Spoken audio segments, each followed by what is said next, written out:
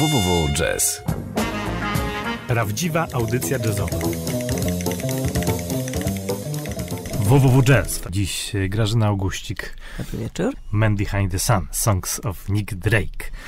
Musimy zacząć e, opowieść e, naszą od e, początków twojej znajomości artystycznej z Nickiem Drake'iem.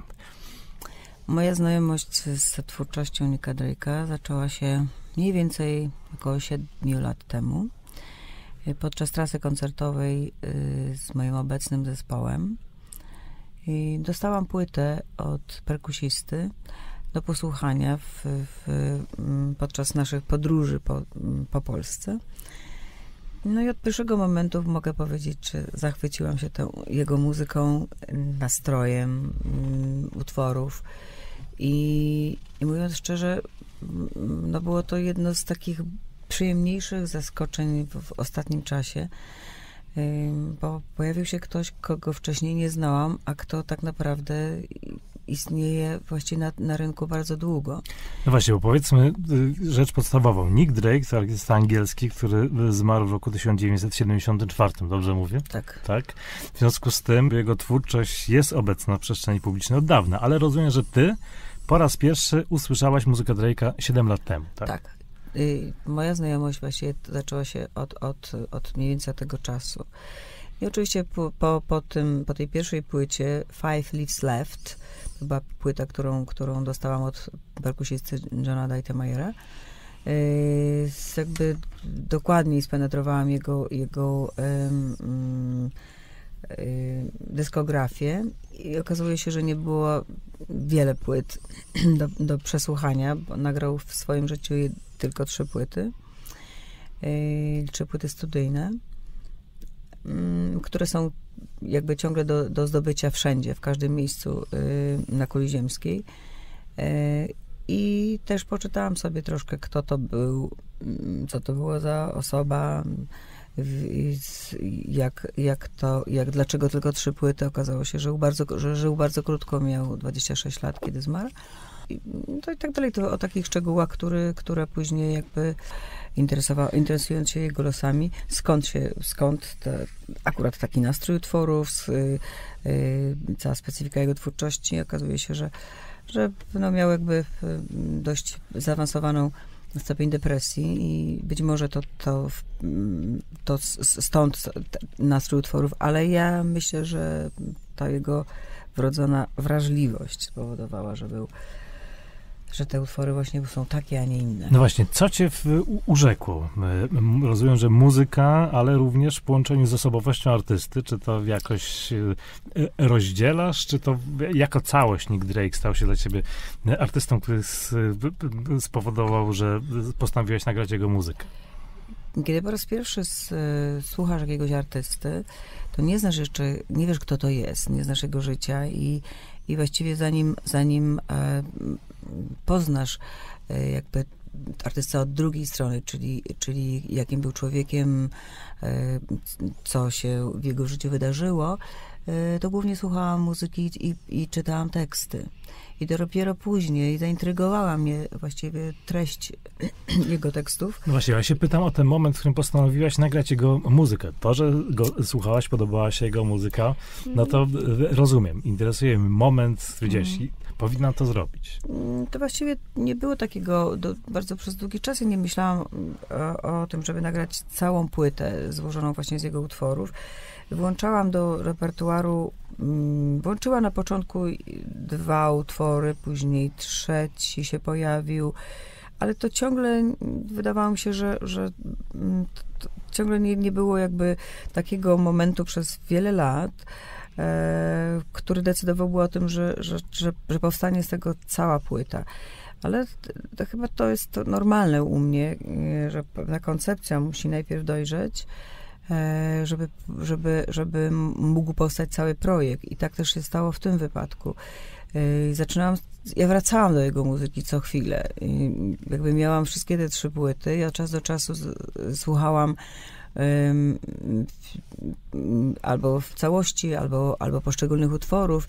I coraz więcej utworów mi się podobało. I tak w pewnym momencie myślałam, może, a może zrobić na przykład całą płytę Drake'a, ale mówię, nie, tak głupie. Ja śpiewająca właściwie muzykę jazzową, tutaj jest to właściwie muzyka pop, no nie głupie, tylko jakoś tak nie w moim stylu. I nie wiem, co to, fa to fani na to, no ale w, mm, jakby w, przyszedł taki moment, że podzieliłam się tą swoją informacją z moimi muzykami, muzykami młodego pokolenia, którzy odkryli Nika Drake'a w, w czasie jakby swojej drogi muzycznej, na początku właściwie swojej kariery muzycznej.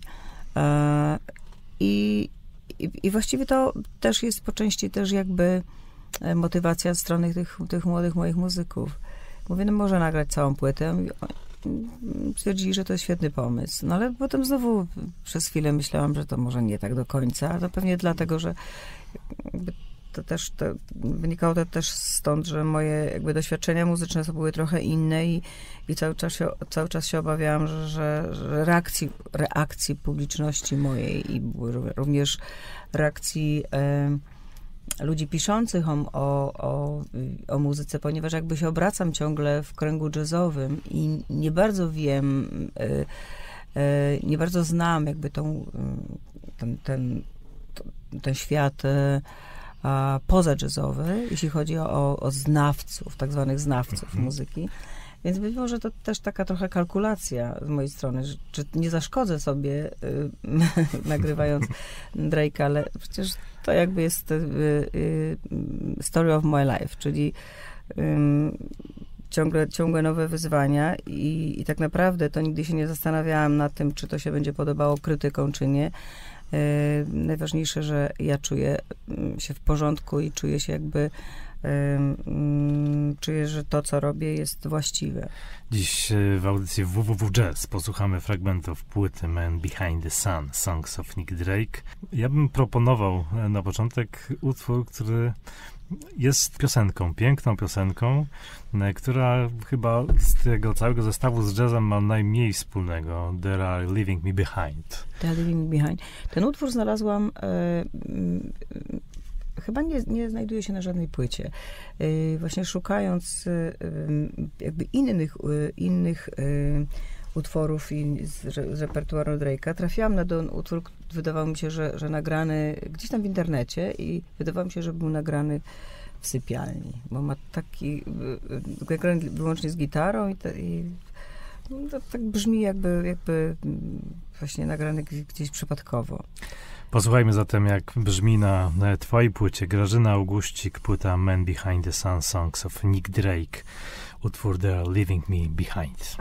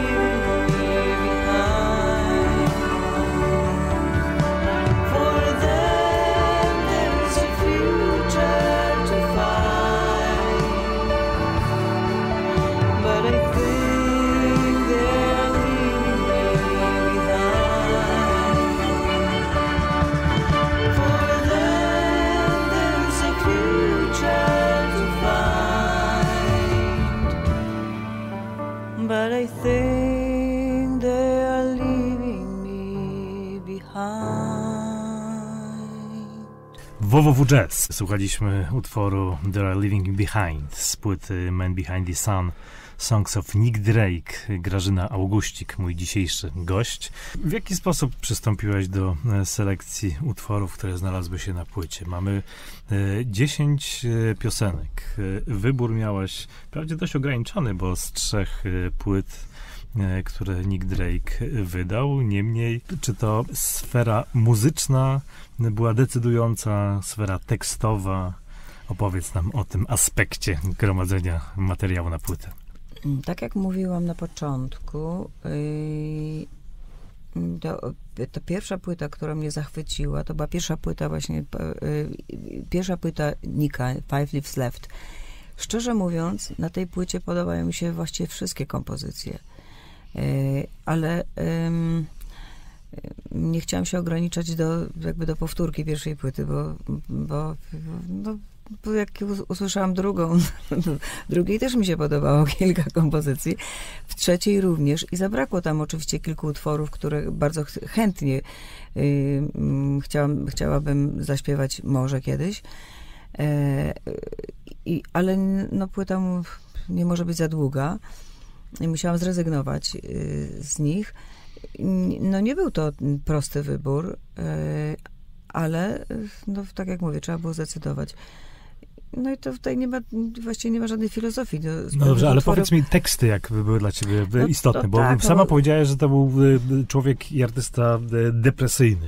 Y, y, Czy nie miałeś pewnych kłopotów z utożsamieniem się tekstów y, śpiewanych tak, na, y, pewno, przez na pewno podobał mi się utwór Parasite, ale zdecydowanie odrzuciłam z powodu tekstu, kiedy, w którym to na, utworze na końcu jest mowa o samobójstwie No, no właśnie, przez czyli to- powieszenie. Czyli jakby to nie za bardzo pasowało jakby do mojego, do, do mojego życia i do mojego nastroju dzisiaj. E, był jeszcze utwór, um, utwór, który też, który też nie, nie mogłam z powodów tekstowych. No niestety, no, to za, za ciężki tekst, ale później gdzieś się spotkałam z historią tego jakby, tekstu, ale e, no tak jak mówię, niektóre, z niektórymi tekstami można się utożsamiać, właściwie każdy może się utożsamiać w zależności od, od nastroju, w którym się znajduje, natomiast e, z niektórymi osobiście ciężko byłoby mi. Zawsze tak masz, że wykonujesz utwór i tekst jest y, elementem przekazu na tyle istotnym, że potrafisz odrzucić zaśpiewanie pewnego utworu, bo się z tekstem nie Tak. zgadzasz? Tak, tak. Mhm. Są teksty, które są albo bardzo infa, infantylne i, i, no zdecydowanie można zmienić tekst i, i, i, i- pozostawić na przykład muzykę, ale są takie utwory, które, które są no, nie, do, nie, za, nie do zaakceptowania. Y, w- tym miejscu musimy również powiedzieć tym wszystkim, którzy y, płyty nie słuchali, a być może znają twórczość Nika Drake'a, że to, co y, znajduje się na płycie, ma o tyle wspólnego z muzyką Nika Drake'a, że to są jego kompozycje, jego teksty. Ale z pewnością praca, którą wykonałaś ty i twój zespół spowodowała, że muzyka Nika Drake'a przedstawiona jest w zupełnie innej perspektywie. Y, Dla mnie to nie jest ważne. Ważne jest to, że jakby przedłużam istnienie tej muzyki na następne pokolenia i, i na pewno ta muzyka będzie ciągle odkrywana przez następnych y, y, innych wykonawców, też jakby z różnych gatunków muzycznych. Nie, ja akurat reprezentuję y, muzykę jazzową, ale jak wiemy, jego utwory znalazły się na wielu płytach wykonawców muzyki pop czy muzyki rock. Za chwilę porozmawiamy o muzykach, z którymi nagrałaś tę płytę. Myślę, że ich wrażliwość i e, umiejętności muzyczne zdecydowały w dużym stopniu, jak ta muzyka brzmi. Tak jak powiedziałaś, nie jest to płyta jazzowa, ale niewątpliwie zagrana jazzowym drive'em, bo muzycy, którzy tu występują, są e, Jazzmenami. rasowymi, znakomitymi jazzmenami. Ale proponuję, żebyśmy teraz posłuchali utworu, który mm, myślę, że trochę od, najbardziej odbiega od e, tego, e, co e, e, komponował Nick Drake. E, Posłuchajmy utworu From the Morning, który z depresyjnością w twoim wykonaniu nie ma nic wspólnego, a na dodatek bardzo zbliża się estetycznie do muzyki country. No, przez udział przede wszystkim m, steel guitar, e, czyli m, gitary charak- charak- charakterystycznego brzmienia dla muzyki country. Pewnie, pewnie ta, ta, ta, ta, analogia, ale Posłuchajmy zatem i potem wrócimy do naszej rozmowy o płycie Man Behind the Sun, Songs of Nick Drake, Grażyna Augustik, utwór zatytułowany From the Morning.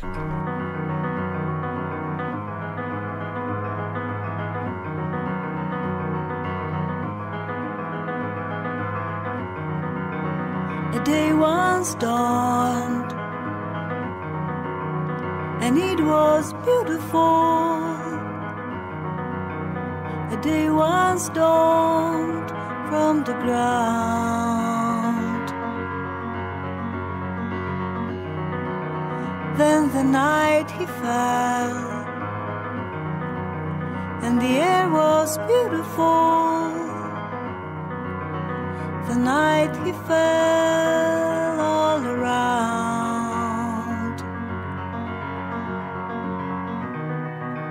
So look, see the days,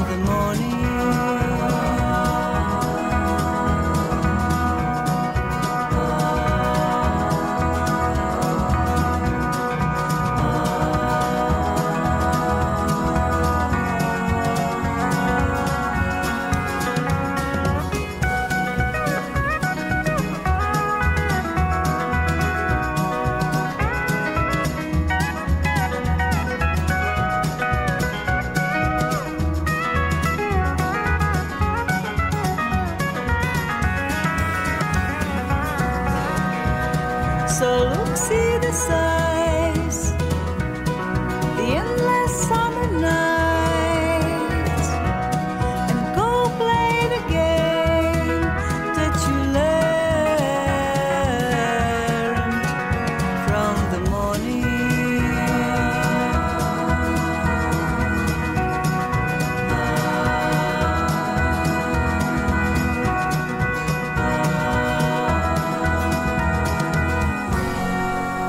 Www Jazz. From the Morning z płyty Man Behind the Sun Songs of Nick Drake. Grażyna Augustik utwór country. Przed chwilą wybrzmiał wspana- wspaniałe steel gitar i może przy tej okazji powiedz e, kto grał na tejże gitarze? Brian Wilkie. To jest e, właściwie, mogę, można powiedzieć, w Chicago jeden e, z takich czołow, czołowych mm, gitarzystów grających w mm, muzykę country, ale on nie gra wyłącznie muzyki country. Muzykę country y, gra w różnych folkowych y, zespołach y, i jest gościem specjalnym. Został zaproszony na, do dwóch utworów. mhm. a na gitarze głównej gra twój muzyczny partner na wielu twoich produkcjach, czyli John McLean Tak, na co dzień ostatnio słyszymy go w, zespole Kurta Ellinga tak, tak. Od, od y, dwóch lat na stałe y, pracuję z Kurtem Ellingiem, ale y, y, grywamy od czasu do czasu, kiedy jest poza trasą z Kurtem. Mm, A z Johna znam od 96 roku i rzeczywiście nagrał ze mną e, kilka płyt. E, Jest to gi- gitarzysta bardzo interesujący, bardzo nieprzewidywalny e, i, i, i z wielkim właściwie tak zaciekawieniem e, czekam na naszą, naszą wspólną przygodę muzyczną następną. No, myślę, że to muzyk ciągle jeszcze jakby nieodkryty i, i, i, myślę, że długo będzie, będzie zaskakiwał. E, Pozostali muzycy z zespołu to zupełnie inna generacja. Chyba żaden z nich jeszcze trzydziestki nie przekroczył. No, są blisko, ale jeszcze rzeczywiście nie mają 30 lat. Y, Matthew Larry, z którym gram od 7-8 lat.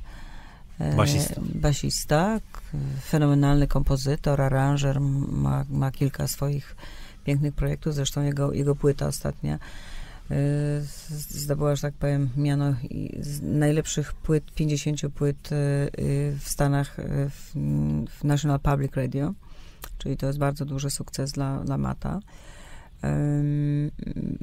Artysta niezwykle, że tak powiem, płodny, bo, bo oczywiście komponuje y, dużo i, i ma łatwość komponowania, aranżowania.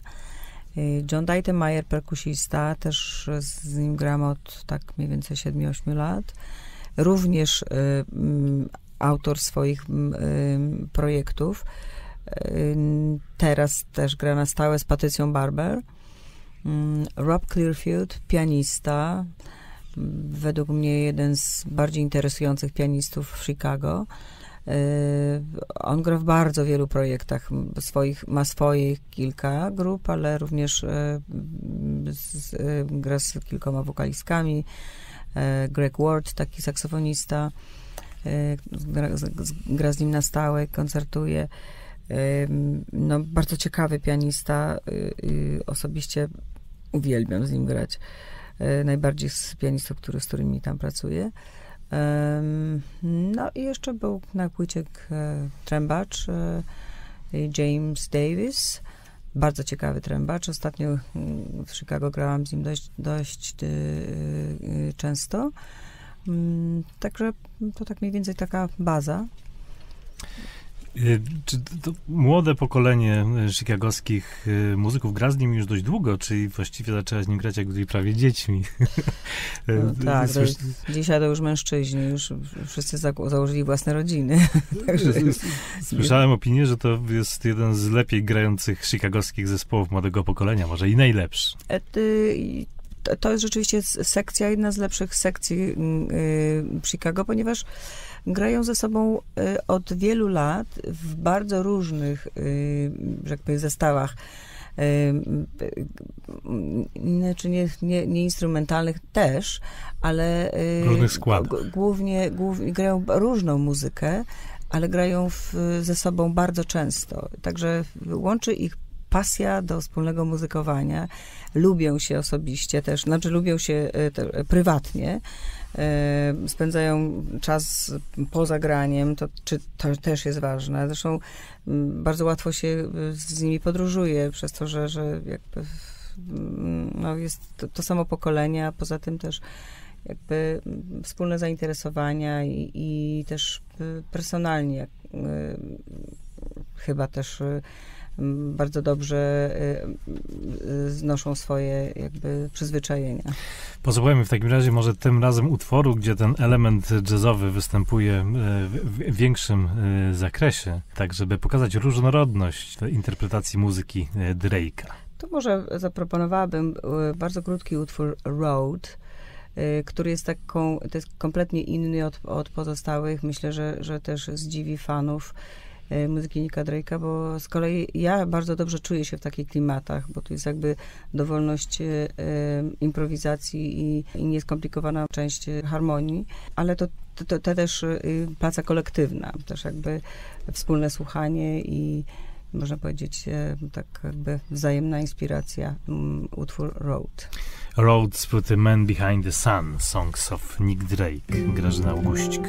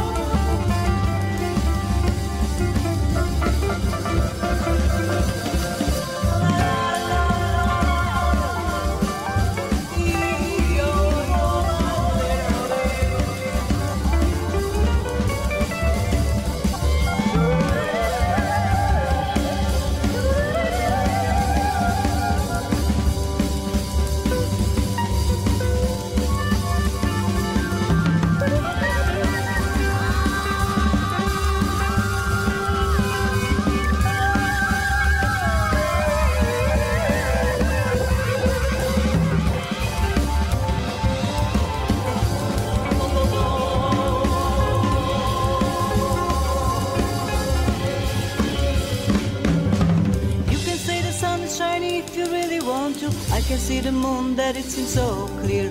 You can take the road that takes you to the stars. Now I can take a road that will see me through. I can take a road that will see me through.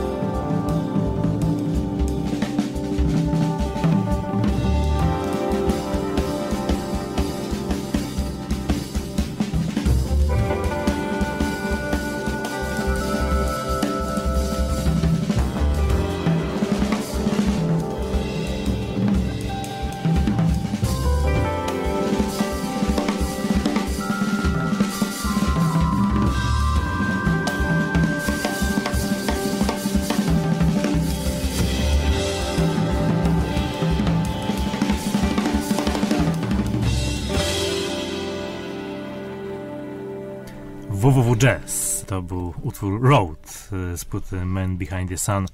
Songs of Nick Drake, Grażyna Augustik w moim studiu. No, oczywiście ta piosenka była zupełnie inna od tych dwóch poprzednich. Jak y, się czujesz śpiewając koncert z pieśniami Drake'a? Czy to traktujesz jako wchodzisz na scenę i grasz y, swoją muzykę? Czy czujesz się tak, jakbyś wykonywała, nie wiem, no, koncert standardów? Nie, no w pewnym sensie, w pewnym sensie yy, czuję się tak, jakbym grała muzykę oryginalną, chociaż nie jest to moja muzyka, ale przez to, że, że interpretuję ją trochę inaczej, E, oczywiście nie ma to nic wspólnego ze standardami i z, nawet jeśli wzięłabym do, do repertuaru standard e, ograny czy mniej ograny, ale zawsze był to na przykład utwór jazzowy i zagrałabym go na koncercie, to czułabym się tak jak jednak, jednak i no, gdzieś tam zahaczam o tradycję. Natomiast w tym przypadku to jest tak jakby dla mnie to zupełnie coś nowego. Z tego powodu, że są to utwory, które są nieznane, utwory nie z muzyki jazzowej e, i, i też dla mnie e, z gatunku, którego owszem, wplatałam do swojego repertuaru, mogę powiedzieć, utwory z gatunku pop, tak jak na przykład The Moon is a Harsh Mistress, to mój ulubiony utwór, który grałam przez wiele lat, ale to też była muzyka, powiedzmy, nie, nie do końca jazzowa.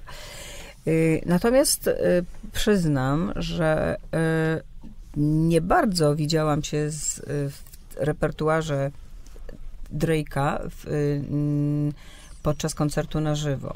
Nie wiedziałam, jak to, właściwie jak to, jak zabrzmią utwory ze sobą jakby zestawione, bo na płycie to zupełnie co innego, ale zagrać to na żywo, to, to był to pewien problem, ale po, dopiero po trzecim koncercie stwierdziliśmy wszyscy, że to się da. I się dało. I jest, uważam, że uważam, że, że że y, y, będę to grać na pewno w przyszłości i y, dodaję jeszcze nowe utwory, których tu na płycie nie ma. Nowe Drake'a, tak? Tak, tak, nowe Drake'a i występuję w, w Chicago, że zapraszam y, trębacza i zapraszam poetę. Który recytuje poezję Drake'a? Spo, nie, nie, nie, nie, nie. nie swoje, swoje, swoje. rzeczy. Y, to jest John Goody, który y, napisał specjalnie wiersz dedykowany Nickowi Drake'owi, który znajduje się właśnie na płycie. E, I zaprosiłam go kiedyś eksperymentalnie. To się, ta formuła się znakomicie sprawdza, bo to jest bardzo dobry poeta.